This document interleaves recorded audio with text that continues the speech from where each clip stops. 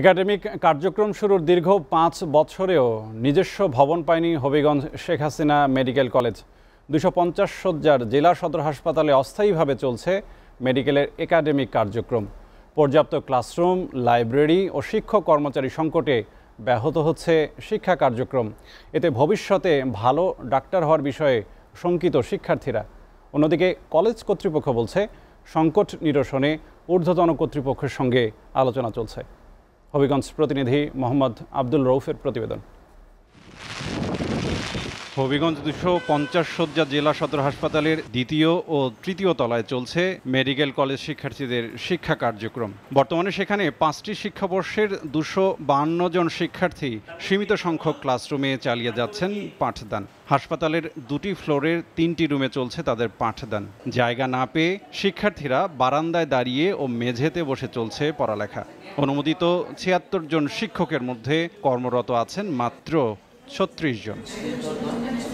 Medical কলেজে কমপক্ষে ছয় রেজিস্ট্রার ও সহকারী রেজিস্ট্রার থাকার কথা থাকলেও অফিস করেন না একজনও। বিশ জন তৃতীয় ও চতুর্থ শ্রেণি কর্মচারী পদের সবগুলো পদই শূন্য। মাত্র সাতজন কর্মচারী বিভিন্নভাবে দায়িত্ব পালন করছে ওয়ার্ড হয়, সেই ওয়ার্ডে সিএ রেজিস্টার এগুলো না থাকার কারণে আমরা ঠিকভাবে যে প্র্যাকটিক্যালি যে শেখার কথা সেই শেখাটা শিখতে পারতেছি না। তো পর্যাপ্ত ক্লাসরুমের অভাবে আমরা পাঁচটা বেচে সবাই ঠিকমতো ক্লাস করতে পারছি না। হয় আমাদের ক্লাস টিচাররা আমাদের ওয়ার্ডে হচ্ছে দুই দিন টাইম দেন। তো ওই দুই দিনে ওনারা ওনাদের সর্বোচ্চ দিয়ে চেষ্টা করেন। কিন্তু বাকি চার দিন যে আমরা যাই ওইখানে হচ্ছে আমরা নিজেদের মতো করে শুধু হাঁটি। ওইখানে আমাদের অ্যাকচুয়ালি কোনো কিছু শেখা হয় না। মেডিকেলে তিনটি ল্যাবের কথা থাকলেও আছে একটি সেখানেও নেই টেকনিশিয়ান ও অনুশীলন করার মতো পর্যাপ্ত সুযোগ সুবিধা ও যন্ত্রপাতি। একটি মাত্র লাইব্রেরিতেও নেই পর্যাপ্ত আসন ও প্রয়োজনীয় সংখ্যক বই। এ অবস্থায় সংকট সমাধানে দ্রুত ব্যবস্থা নেয়ার দাবি শিক্ষার্থীদের।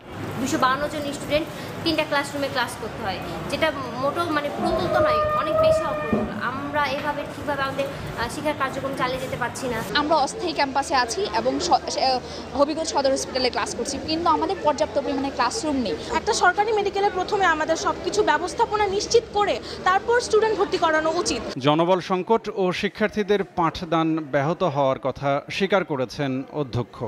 টিচার সংকটের কথা আমাদের উদ্বোধন কর্তৃপক্ষ জানে এবং আমরা তাদের বলেছি।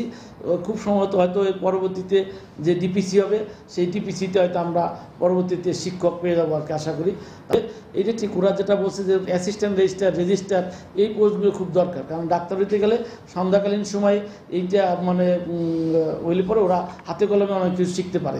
দুই হাজার পনেরো সালের বারো জানুয়ারি শিক্ষার্থী ভর্তির জন্য প্রশাসনিক অনুমোদন পায় হবিগঞ্জ শেখ হাসিনা মেডিকেল কলেজ। পরে অস্থায়ী ক্যাম্পাসে দুই হাজার সতেরো আঠারো শিক্ষাবর্ষে একান্ন জন শিক্ষার্থী ভর্তি করা হয়।